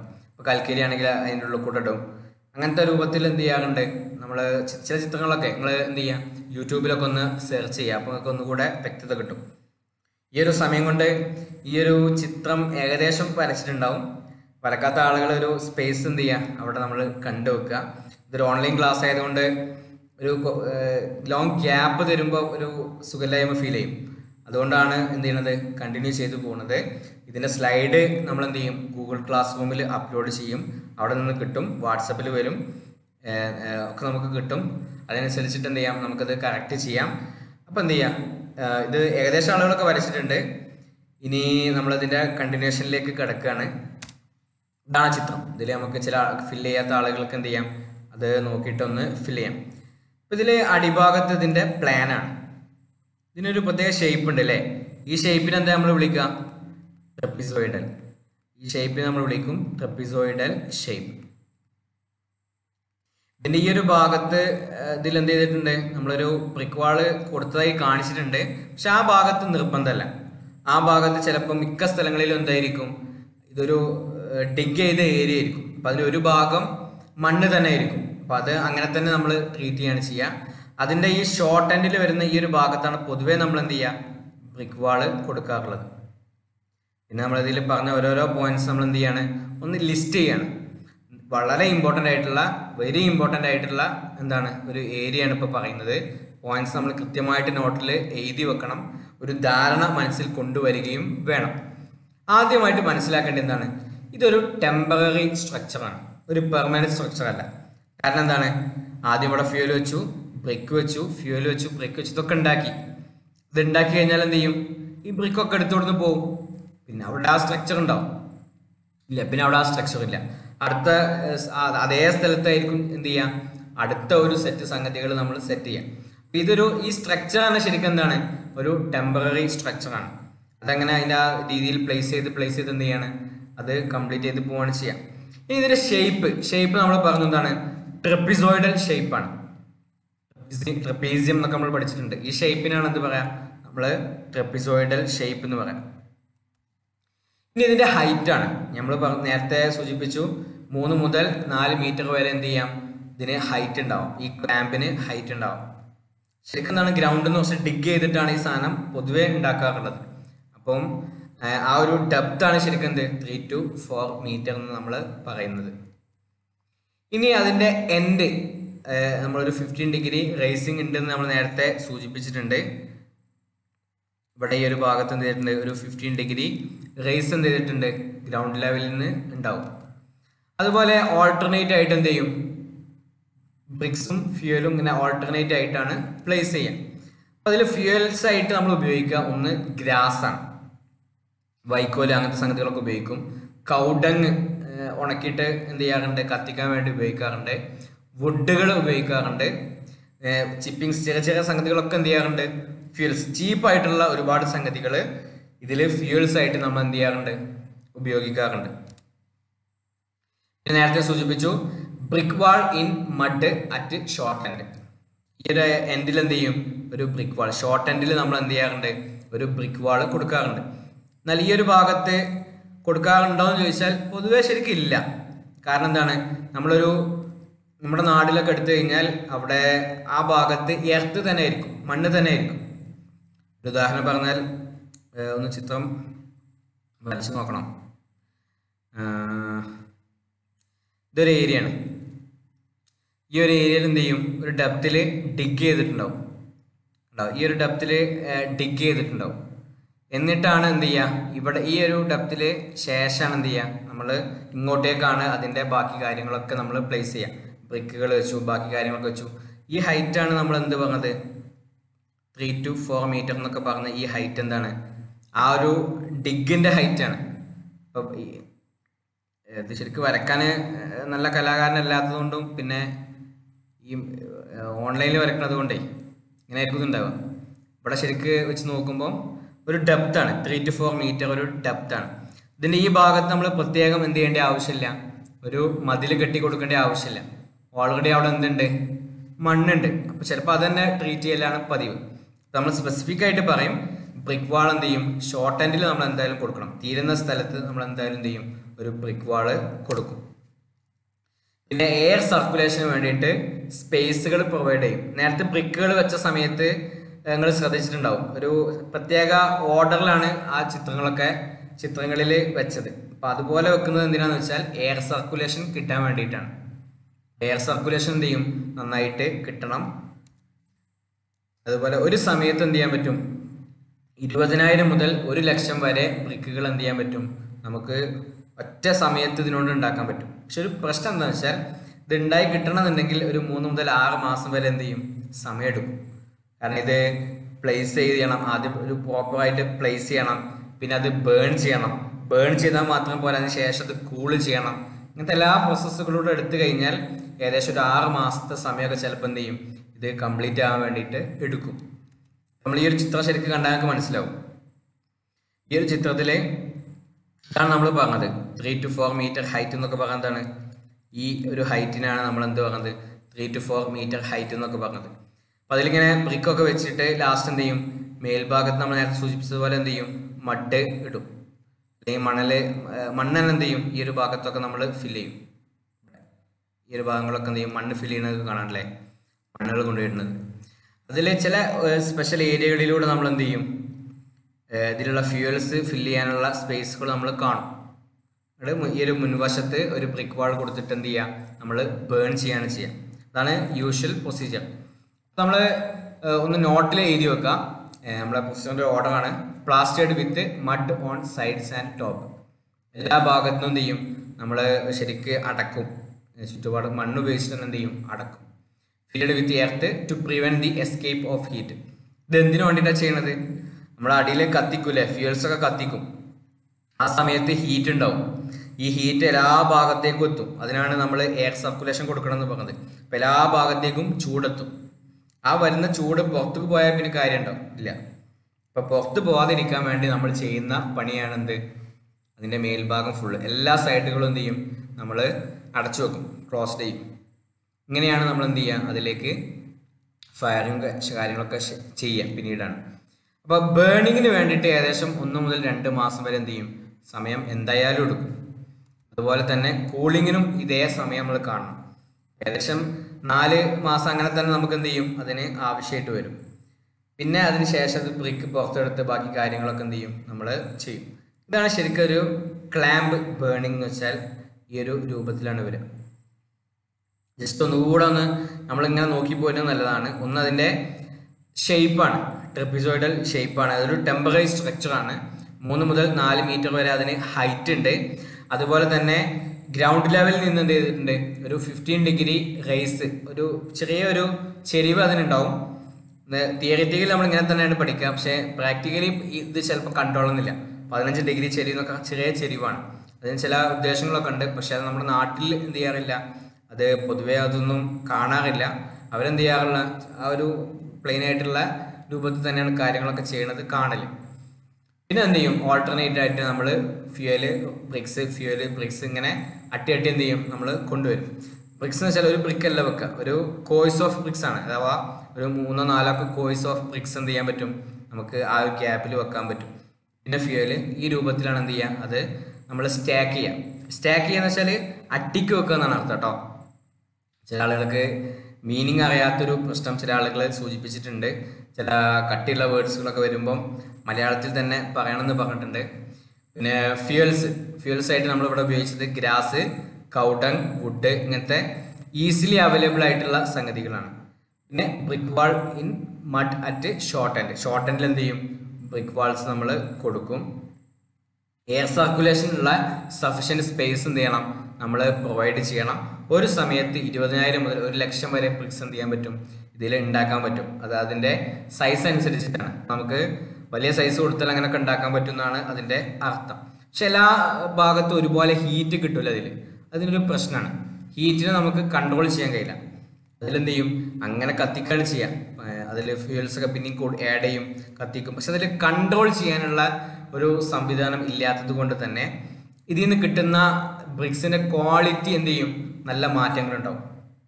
എല്ലാ ഭാഗത്തും ഒരേ ക്വാളിറ്റി ആയിരിക്കില്ല നേരത്തെ നമ്മൾ സൂചിപ്പിച്ചിട്ടുണ്ട് കുറഞ്ഞ ഹീറ്റ് കിട്ടിയാൽ എന്ത് ചെയ്യും? അത് സോഫ്റ്റ് ആണ്. അതിന് ലോഡ്സിനൊന്നും ബെയർ ചെയ്യാനുള്ള ശക്തി ഉണ്ടാവില്ല. എന്നാൽ seven hundred to thousand degree സെൽഷ്യസിന്റെ ഇടയിൽ ഒരു ഹീറ്റാണ് അതിന് കിട്ടിയതെങ്കിൽ അത് നല്ല സ്ട്രോങ് ആയിട്ടുള്ള നല്ല ഡ്യൂറബിൾ ആയിട്ടുള്ള ബ്രിക്സ് ആയിരിക്കും. എന്നാൽ അതിനും കൂടി ഒരു ആയിരത്തി ഇരുന്നൂറിനും മേലൊക്കെ കൂടിക്കഴിഞ്ഞാൽ എന്ത് ചെയ്യും?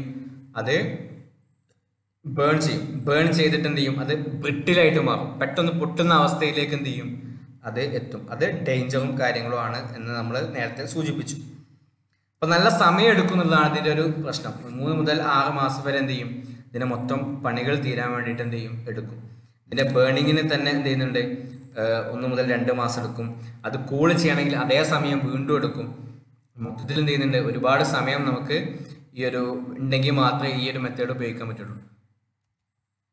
ഇനി ഇതിന്റെ അഡ്വാന്റേജസും ഡിസഡ്വാന്റേജസും ഇതുകൂടെ പറഞ്ഞിട്ട് എന്ത് ചെയ്യാണ്? നമ്മൾ ഈ ഒരു സെഷൻ ഇവിടെ അവസാനിപ്പിക്കണം. അധിക ലെങ്ത് ഉണ്ടാവേണ്ട എന്നാണ് നമ്മളിപ്പം നിങ്ങളുടെ ഫീഡ്ബാക്കിന്റെ അടിസ്ഥാനത്തിൽ നമ്മൾ ഇംപ്ലിമെന്റ് ചെയ്യാൻ ഉദ്ദേശിക്കുന്നത്. അപ്പോൾ അതിൽ ഫസ്റ്റ് വൺ ഇതിന്റെ ഒരു അഡ്വാന്റേജ് ആണ് നമുക്ക് കിട്ടുക എന്താണ്? ടഫ് ആൻഡ് സ്ട്രോങ് ബ്രിക്സ് ആണ്. എല്ലാം സ്ട്രോങ് ആണെന്ന് നമ്മൾ പറയുന്നില്ല. എന്നാലും ഒരു നല്ല എമൗണ്ട് നമുക്ക് എന്ത് ചെയ്യും? സ്ട്രോങ് ആയിട്ടുള്ള ബ്രിക്സ് ഇതിൽ നിന്ന് കിട്ടും. കാരണം എന്താണ്? ബേണിങ്ങും കൂളിങ്ങും രണ്ടും ഗ്രാജുവൽ ആണ്. പതുക്കെ പതുക്കെയാണ് നമ്മൾ എന്ത് ചെയ്യുന്നത്? ഈ കാര്യങ്ങളൊക്കെ നമ്മൾ ചെയ്യുന്നത്. അതുകൊണ്ട് തന്നെ നല്ല സ്ട്രോങ്ങും നല്ല ടഫും ആയിട്ടുള്ള ബ്രിക്സ് നമുക്ക് കിട്ടും. പിന്നെ ഇതിൽ ഉപയോഗിക്കുന്ന എല്ലാ മെറ്റീരിയൽസും എന്താണ്? ഈസിലി അവൈലബിൾ ആയിട്ടുള്ള സംഗതികളാണ്. ഫ്യൂൽസ് വരെ നമ്മുടെ നാടുകളിൽ കിട്ടുന്ന ചെറിയ ചെറിയ കാര്യങ്ങളാണ് നമ്മൾ ഉപയോഗിച്ചിട്ടുള്ളത്. അതുകൊണ്ട് തന്നെ ചീപ്പാണ് എക്കോണമിക്കലാണ് പിന്നെ വലിയ സ്കില്ലുള്ള ലേബേഴ്സിന്റെ ആവശ്യമുണ്ടോ? ഇല്ല. അത് സ്ഥിരമായിട്ട് ആളുകൾ സാധാ പണിക്കാർ ബ്രിക്ക് വെക്കാനും എടുക്കാനും അങ്ങനത്തെ കാര്യങ്ങൾക്ക് മാത്രമേ എന്തിനുള്ളൂ ഇതിൽ പണികളുള്ളൂ. സ്കില്ലഡ് ലേബേഴ്സിന് നമുക്ക് ആവശ്യമില്ല. വലിയ വലിയ സൂപ്പർവിഷനും ആവശ്യമില്ല. ജസ്റ്റ് ഒന്ന് നോക്കി നടത്തുന്ന ആളുകളൊക്കെ വേണം. എന്നാൽ വലിയ സൂപ്പർവിഷൻ ആവശ്യമില്ല. നമ്മൾ വലിയ വലിയ ബിൽഡിങ്സിലൊക്കെ കണ്ടിട്ടുണ്ടാവും. ചെക്ക് ലിസ്റ്റ് വരെ ഉണ്ടാവും. ഇന്ന കാര്യങ്ങൾ ചെയ്തു. അത് ഓരോന്നും ടിക്കറ്റ് ടിക്കറ്റ് പോകണം അത്രയും സൂപ്പർവിഷനുകൾ ഉണ്ടാവും. സൂപ്പർവൈസേഴ്സ് ഉണ്ടാവും. എഞ്ചിനീയേഴ്സ് ഉണ്ടാവും. ഓരോന്നിനും നമുക്ക് സെപ്പറേറ്റ് ആളുകൾ എന്ത് ചെയ്യും? വലിയ വലിയ പ്രൊജക്റ്റ് ആണെങ്കിലും ഉണ്ടാവും. പക്ഷെ ഇവിടെ ബ്രിഗിന്റെ ഈ ഒരു കാര്യം അത് നാട്ടും പുറത്തുള്ള ആർക്കും എന്ത് ചെയ്യാൻ പറ്റും? അതങ്ങനെ ചെയ്ത് ഡീൽ ചെയ്യാൻ പറ്റും എന്നുള്ളതാണ് ഇതിന്റെ ഒരു പ്രത്യേകത. അത് അതുകൊണ്ട് തന്നെ എന്ത് ചെയ്യുന്നുണ്ട്? ഫ്യൂവലൊക്കെ നമ്മൾ സേവ് ചെയ്യുന്നുണ്ട്. Saving of clamps fuel fuel ഒരുപാട് നമ്മൾ എന്ത് ചെയ്യുന്നുണ്ട്? ആ അർത്ഥത്തിൽ നമുക്ക് സേവ് ചെയ്യാൻ പറ്റും. ഇതിന്റെ ഒരു ഡിസഡ്വാന്റേജുകൾ എന്താണെന്ന് വെച്ചാൽ ഒന്ന് ബ്രിക്കുകൾ എന്തല്ല എല്ലാം നമുക്ക് നമ്മൾ വിചാരിച്ച ഷേപ്പിൽ ചിലപ്പോൾ കിട്ടിക്കോളുന്നില്ല. അച്ഛ അങ്ങോട്ട് ആയി. പിന്നെ അവിടുന്ന് എടുത്തു വെക്കുന്ന സമയത്ത് ഇങ്ങനത്തെ കാര്യങ്ങളൊക്കെ മാനുവൽ ലേബേഴ്സ് എന്ത് ചെയ്യുന്നുണ്ട്. അതിനിടയിലൊക്കെ ഇടപെടുന്നുണ്ട്. അതുകൊണ്ട് എല്ലാം ഒരേ ഷേപ്പ് ആയിക്കൊള്ളുന്നില്ല എടുക്കുന്ന സമയത്ത് ചെറുതായിട്ട് പ്ലാസ്റ്റിസിറ്റി ഉള്ള മെറ്റീരിയൽ ആണെന്ന് ഞാൻ പറഞ്ഞു. എടുത്ത വെക്കുന്ന സമയത്തൊക്കെ ആട്ടുകൊണ്ടൊക്കെ എന്ത് ചെയ്യാം? ഷേപ്പ് ചെറുതായിട്ടൊക്കെ എന്ത് ചെയ്യാം? മാറാം. അപ്പം എല്ലാത്തിനും ഒരേ ഷേപ്പ് കിട്ടിക്കൊള്ളുന്നില്ല പിന്നെ വളരെ സ്ലോ ആണ്. നേരത്തെ നമ്മൾ പറഞ്ഞു ബേണിങ്ങിനും കൂളിങ്ങിനും തന്നെ വേണം എന്ത്? മൂന്നാൽ മാസം. മൊത്തത്തിൽ എന്താണ് ഒരു ആറ് മാസം എടുക്കുക എന്ന് പറഞ്ഞാൽ വളരെ സ്ലോ ആണ്. അപ്പം അങ്ങനെ ഒരു പ്രയാസം ഇതിലുണ്ട് അതുപോലെ തന്നെ ഇതിലുള്ള ഫയറിന് നമുക്ക് കൺട്രോൾ ചെയ്യാൻ കഴിയില്ല. ഫയറിനെ കൺട്രോൾ ചെയ്തിട്ടില്ലെങ്കിൽ നമുക്ക് മൊത്തത്തിലുള്ള ബ്രിക്സും ഒരേ സ്റ്റാൻഡേർഡിലേക്ക് കൊണ്ടുവരാൻ കഴിയില്ല. എല്ലാ ബ്രിക്സിനും ഒരേ സ്ട്രെങ്ത് ആണ്. അങ്ങനത്തെ ഒരു സ്റ്റാൻഡേർഡിലേക്ക് നമുക്ക് കൊണ്ടുവരാൻ കഴിയില്ല. കൂടുതൽ ചൂട് കിട്ടിയ ഭാഗത്ത് എന്തായിരിക്കും? ബ്രിട്ടിലായിട്ടുള്ളതായിരിക്കും. എഴുന്നൂറിനും ആയിരത്തിനും ഇടയിൽ കിട്ടിയ ആളുകൾ വളരെ നല്ല ഡ്യൂറബിൾ ആയിട്ടുള്ളതായിരിക്കും. അറുന്നൂറ്റി നാൽപ്പതിന് താഴെ കിട്ടിയ ആളുകൾ വളരെ സോഫ്റ്റ് ആയിരിക്കും. അതിന് അധികം എന്ത് ചെയ്യാൻ പറ്റില്ല ലോഡ്സിനും കാര്യങ്ങളൊന്നും താങ്ങാൻ പറ്റില്ല അപ്പോൾ ഇങ്ങനത്തെ ഒരു പ്രശ്നമുണ്ട്. അതിന്റെ ഫയറിന് നമുക്ക് എന്ത് ചെയ്യാൻ പറ്റില്ല റെഗുലേറ്റ് ചെയ്യാൻ പറ്റില്ല എന്നുള്ളൊരു പ്രശ്നം ഈ ഒരു ക്ലാമ്പ് ബേണിങ്ങിലുണ്ട് അതുപോലെ ക്വാളിറ്റി നേരത്തെ നമ്മൾ സൂചിപ്പിച്ചിട്ടുണ്ട്. ക്വാളിറ്റി എല്ലാ ഭാഗത്തും ഒരുപോലെ ആയിരിക്കണമെന്നില്ല. അതും ഈ ചൂടിന് ചൂടുമായിട്ട് ബന്ധപ്പെട്ടാണ് ഫയറുമായിട്ട് ബന്ധപ്പെട്ടാണ്. അപ്പൊ ഇത്രയും കാര്യങ്ങൾ നമ്മൾ എന്ത് ചെയ്യണം? നിർബന്ധമായിട്ടും നമ്മൾ വ്യക്തമായിട്ട് പഠിക്കാൻ വേണ്ടിയിട്ട് ശ്രദ്ധിക്കുക നമുക്ക് ഇനി വരും ക്ലാസ്സുകളിൽ ബേണിങ്ങുമായിട്ട് ബന്ധപ്പെട്ട് തന്നെ വളരെ ഡീറ്റെയിൽ ആയിട്ട് കുറച്ച് കാര്യങ്ങൾ നമുക്ക് പഠിക്കാനുണ്ട്. ആ കാര്യങ്ങൾ നമ്മൾ കൃത്യമായിട്ട് പഠിക്കണം. ഇന്നത്തെ ക്ലാസ്സുമായിട്ട് ബന്ധപ്പെട്ട കഴിഞ്ഞ ക്ലാസ്സിന്റെയും ഈ ഒരു ക്ലാസ്സിൽ ഞാൻ ഇന്ന് കമന്റുകൾ എന്ത് ചെയ്തിട്ടില്ല? അധികം ശ്രദ്ധിച്ചിട്ടില്ല. അത് എല്ലാ ദിവസവും നമ്മൾ എന്ത് ചെയ്യില്ല? ഇങ്ങനെ കമന്റുകളുമായിട്ട് ശ്രദ്ധിച്ച് പോകില്ല അത് എന്താണ്? നമുക്ക് പെട്ടെന്ന് തീരൂല എന്നുള്ള ഒരു പേടി കൊണ്ടാണ്. പിന്നെ കൂടുതൽ ഇൻട്രാക്റ്റീവ് ആക്കാൻ ബാക്കി ഇപ്പോൾ സൂം അങ്ങനത്തെ കാര്യങ്ങളൊന്നും നമുക്ക് ഒരു പല ആളുകൾക്കും അതിൽ പ്രയാസം ഉണ്ടെന്ന് പറഞ്ഞതുകൊണ്ടാണ് നമ്മൾ എന്ത് ചെയ്യണത്? ഈ ഒരു യൂട്യൂബിൽ ഈ ഒരു സംഗതി ഇങ്ങനെ കണ്ടിന്യൂ ചെയ്യണത്. നിങ്ങൾക്ക് എന്ത് ചെയ്യാം സൈസ് നല്ല ക്ലിയറിലും കാണാം. ഇനി അധികം സ്പീഡില്ലാത്ത കണക്ഷൻ ആണെങ്കിൽ നിങ്ങൾക്ക് എന്ത് ചെയ്യാൻ പറ്റും? അത് കുറച്ചിട്ടും കാണാൻ പറ്റും എന്നുള്ളതാണ് ഈ ഒരു യൂട്യൂബിൽ നമ്മൾ കാണുന്ന വലിയൊരു അഡ്വാന്റേജ് പക്ഷെ നമുക്ക് നഷ്ടം വരുന്ന കുറേ ഇന്ററാക്ഷൻസ് ഉണ്ട്. പിന്നെ പൊതുവെ സംശയം ചോദിക്കൽ കുറവായതുകൊണ്ട് എന്താണ്? പിന്നെ ചോദിക്കാൻ പറ്റുന്ന ആളുകൾ ടൈപ്പ് ചെയ്തിട്ടും ചോദിക്കാൻ പറ്റുന്നത് കൊണ്ട് എന്ത് ചെയ്യാണ് നമ്മൾ ഈ യൂട്യൂബ് തന്നെ പ്രിഫർ ചെയ്ത് പോവാണ്. പിന്നെ അതിനുശേഷം റെക്കോർഡിങ്ങും ഈസിലി ആയിട്ട് എന്താണ് യൂട്യൂബിൽ അവൈലബിൾ ആണ് എന്നുള്ളത് കൊണ്ടാണ് ഈ ഒരു മെത്തേഡ് നമ്മൾ പ്രിഫർ ചെയ്യുന്നത്. ഇന്നത്തെ ക്ലാസ്സുമായിട്ട് ബന്ധപ്പെട്ട് കുറച്ച് വർക്ക് അഥവാ നമ്മളെ ഡെയിലി ക്യൂസ് നമ്മൾ ഇംപ്ലിമെന്റ് ചെയ്ത ഒരു ക്യൂസ് എന്ത് ചെയ്തിട്ടുണ്ട് നമ്മുടെ ഗൂഗിൾ ക്ലാസ് റൂമിൽ പോസ്റ്റ് ചെയ്തിട്ടുണ്ട്. നിങ്ങൾ അതെന്ത് ചെയ്യണം? കൃത്യമായിട്ട് ഈ ക്ലാസ് കേട്ട് എന്തെങ്കിലും ഭാഗം മിസ്സായിട്ടുണ്ടെങ്കിൽ അതുകൂടെ ശ്രദ്ധിച്ച് കേട്ട് നോട്ടുകൾ കംപ്ലീറ്റ് ചെയ്തതിന് ശേഷം വേണം എന്ത് ചെയ്യാൻ? ഈ ഒരു ക്യൂസ് അറ്റൻഡ് ചെയ്യാൻ. നമ്മൾ പറഞ്ഞിട്ടുണ്ട് ഈ ക്യൂസ് അറ്റൻഡ് ചെയ്യലാണ് നമ്മൾ ഈ സി എം ഇ വിഷയത്തിൽ അറ്റൻഡൻസ് ആയിട്ട് പരിഗണിക്കുന്നത്. എല്ലാ ആളുകൾക്കും ഈ ഒരു സമയം ടൈം ഫ്രെയിമിൽ ചിലപ്പം എത്തിപ്പെടാൻ പറ്റൂല എന്ന് ഞാൻ മനസ്സിലാക്കുന്നുണ്ട് കാരണം ഇപ്പം എന്ത് ചെയ്യുന്നുണ്ട് കോളേജിൽ സപ്ലി എക്സാമുകൾ നടക്കുന്നുണ്ട്. അപ്പോൾ കഴിഞ്ഞ എസ് വണ്ണിലോ എസ് വണ്ണിൽ സപ്ലി ഉള്ള ആരെങ്കിലും ഉണ്ടെങ്കിൽ അവർക്ക് പേ ചെയ്തേണ്ടി വരും എന്നാണ് ഞാൻ മനസ്സിലാക്കുന്നത് അപ്പോൾ അങ്ങനെ ഒരു ഇഷ്യൂ ഉള്ളത് കൊണ്ടാണ് ഫുൾ അറ്റൻഡൻസ് ഇല്ലാത്തതെന്നാണ് നമ്മളിപ്പോൾ മനസ്സിലാക്കുന്നത് ഇന്ന് പരീക്ഷ ഉണ്ടെന്ന് നിങ്ങൾക്ക് അറിയില്ല ഉണ്ടോ ഇല്ലയെന്ന് അറിയില്ല. പൊതുവെ ഇപ്പം എന്താണ് പരീക്ഷന്റെ ഒരു സീസൺ ആണല്ലോ. നമ്മൾ കുറച്ച് ഒരു ഒന്ന് രണ്ടാഴ്ച കൂടെ എന്ത് ചെയ്യുന്നുണ്ട് പരീക്ഷയും കാര്യങ്ങളും നീങ്ങുന്നുണ്ട്. എന്ത് തന്നെ ആയാലും പറയാനുള്ളത് ഇത്ര കാര്യങ്ങളേ ഉള്ളൂ. എല്ലാ കാര്യങ്ങളും എന്ത് ചെയ്യണം കൃത്യമായിട്ട് സമയമായിട്ട് കൃത്യസമയത്ത് തന്നെ എന്ത് ചെയ്യണം നമ്മുടെ നോട്ടിൽ എഴുതി പഠിച്ചിരിക്കണം. അതല്ലെങ്കിൽ എന്ത് ചെയ്യും പിന്നീട് വളരെ ബുദ്ധിമുട്ടും. സി എം ഇ എന്നുള്ള മനസ്സിലാക്കാൻ നമുക്ക് വളരെ എളുപ്പമാണ്. പക്ഷേ എക്സാം എഴുതുന്ന സമയത്ത് ഇത് ഓർത്തെടുത്തിട്ട് തന്നെ വേണം എന്ത് ചെയ്യാൻ പരീക്ഷാ പേപ്പറിൽ എഴുതാൻ. ഇത് സിലബസ് എന്ന് വെച്ചാൽ വളരെ വൈഡ് ആയിട്ടുള്ള സിലബസ് ആണ്. ഒരുപാട് കാര്യങ്ങൾ നമുക്ക് ഇങ്ങനെ കേട്ട് പോയാൽ തന്നെ എഴുതാൻ പറ്റും. പക്ഷേ എന്ത് ചെയ്യണം? നല്ല ശ്രദ്ധ വേണം. നല്ല വൃത്തിയുള്ള നോട്ട് വേണം. പേനകൾ ഉപയോഗപ്പെടുത്തണം. എല്ലാം നമ്മൾ എന്ത് ചെയ്യണം? വളരെ ഉഷാറായിട്ട് ചെയ്യണം. പിന്നെ അറ്റൻഡൻസുമായിട്ട് ബന്ധപ്പെട്ട് ചില ആളുകൾക്ക് എന്തൊക്കെ പ്രശ്നങ്ങൾ പറഞ്ഞിരുന്നു. അപ്പോൾ അത് എന്ത് ചെയ്യണം? പേഴ്സണലായിട്ട് തന്നെ എന്ത് ചെയ്യണം? ക്ലിയർ ചെയ്യണം. ഡൗട്ടുകൾ ഉണ്ടെങ്കിൽ എന്ത് ചെയ്യാം? ഇപ്പം ഇനി പോസ്റ്റ് ചെയ്യണ്ട. ഞാൻ എന്ത് ചെയ്യാം? നിങ്ങൾ ഗൂഗിൾ ക്ലാസ് റൂമിൽ നമുക്ക് പോസ്റ്റ് ചെയ്യാം. നമുക്ക് എന്ത് ചെയ്യാം? അവിടെ പരിഹരിക്കാം. ഇതിലെല്ലാ കമൻസുകളും വായിക്കാൻ ഒരു പ്രയാസമുണ്ട്. നമ്മൾ എന്ത് ചെയ്യണില്ല അങ്ങോട്ടേക്ക് കടക്കുന്നില്ല. എന്ത് തന്നെയായാലും വരും ദിവസങ്ങളിൽ നമ്മൾ എന്ത് ചെയ്യും? കണ്ടുമുട്ടുന്നുള്ളൊരു പ്രതീക്ഷ ഉണ്ട് നമ്മളെ കേസുകളൊക്കെ എന്ത് ചെയ്യണം? കുറഞ്ഞു വരണം. ക്ലാസ്സുകൾ വളരെ ഭംഗിയായിട്ട് എന്ത് ചെയ്യണം? മുന്നോട്ട് പോകണം. ഈ ഒരു ഓൺലൈൻ ക്ലാസ് മാറിയിട്ട് ഒരു ഓഫ്ലൈൻ ക്ലാസ് നമ്മൾ ആഗ്രഹിക്കണം. അപ്പോൾ അതിനുവേണ്ടി പ്രാർത്ഥിക്കണം. പെട്ടെന്ന് ഈ- പ്രശ്നങ്ങളൊക്കെ മാറി നമ്മൾ വളരെ ഉഷാറായിട്ട് എന്ത് ചെയ്യണം? പഴയതുപോലെ തന്നെ നമ്മുടെ നാടും നമ്മുടെ രാജ്യം ഒക്കെ ആയിട്ട് വരണം. അതിനുവേണ്ടി എല്ലാവരെയും പ്രാർത്ഥനയിൽ എന്ത് ചെയ്യണം? ഈ ഒരു കാര്യം വേണം. എന്തെങ്കിലും കാര്യങ്ങൾ ഉണ്ടെങ്കിൽ എന്ത് ചെയ്യാം? ഒന്നുമില്ലെങ്കിൽ നമുക്ക് വേഗം വൈൻഡപ്പ് ചെയ്യാം. അതാണ് എന്ത്? നല്ലത്. സബ്ജക്റ്റുമായിട്ട് ബന്ധപ്പെട്ട് എന്തെങ്കിലും കാര്യങ്ങൾ നമുക്ക് ഉണ്ടെങ്കിൽ എന്ത് ചെയ്യാം? നമുക്ക് പോസ്റ്റ് ചെയ്യാം. നമുക്ക് അടുത്ത ക്ലാസ്സിൽ എന്ത് ചെയ്യാം? അതുമായിട്ട് ബന്ധപ്പെട്ട ക്ലാരിറ്റികൾ വരുത്താം. എന്തെങ്കിലും സംശയങ്ങളുമായിട്ട് എന്ത് ചെയ്യരുത്? ഒരിക്കലും നമ്മൾ കൂടുതൽ കാലം മുന്നോട്ട് പോകരുത്. ഒന്നെങ്കിൽ ടീച്ചേഴ്സുമായിട്ട് ചോദിച്ചിട്ട് ക്ലിയർ ചെയ്യാം. അതല്ലെങ്കിൽ എല്ലാത്തിനും ഉത്തരം കിട്ടുന്ന ഒരു സ്ഥലം ഇപ്പം ഉണ്ട് എന്താണ്? ഗൂഗിൾ എന്ന് പറയുന്ന ഒരു ഷെയ്ഖുണ്ട്. അദ്ദേഹം എന്ത് ചെയ്യും? ഏത് ചോദ്യങ്ങൾക്കും ഉത്തരം പറയും. അക്കാഡമിക്കലി അദ്ദേഹം എന്താണ്? വളരെ ഉഷാറാണ്. എന്നാൽ അയാൾക്ക് ധാർമ്മികമായിട്ട് കുറച്ച് പ്രശ്നങ്ങളുണ്ട് എന്നല്ലാതെ അക്കാഡമിക്കലി എന്താണ്? ആൾ ഫുൾ സ്ട്രോങ് ആണ്. നാടിന്റെ പല ഭാഗത്തുള്ള ക്ലാസ്സുകൾ അതിൽ കിട്ടും. പിന്നെ നിങ്ങൾ എൻ പി ടെൽ എന്ന് പറഞ്ഞിട്ട് N P T E L ക്ലാസ്സുകൾ കേട്ടിട്ടുണ്ടോ അങ്ങനെ ചില ക്ലാസ്സുകളുണ്ട്. അപ്പം നമുക്ക് എന്തെങ്കിലുമൊക്കെ ഏരിയകളിലൊക്കെ ഡൗട്ടുകളൊക്കെ ഉണ്ടെങ്കിൽ നല്ല ഐ ഐ ടി പ്രൊഫസേഴ്സിന്റെ ക്ലാസ്സുകൾ തന്നെ നമുക്ക് എന്ത് ചെയ്യാൻ പറ്റും? കേൾക്കാൻ പറ്റും.